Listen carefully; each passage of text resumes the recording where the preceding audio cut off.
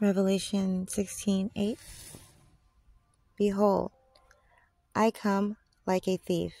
Blessed is he who stays awake and keeps his clothes with him, so that he may not go naked and be shamefully exposed.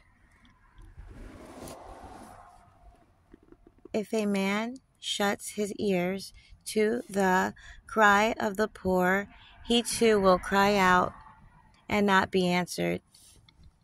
The righteous one takes note of the house of the wicked and brings the wicked to ruin. Better to live on a corner of the roof than share a house with a quarrelsome wife, husband, slash husband, or family member. When justice is done, it brings joy to the righteous, but terror to the evildoers.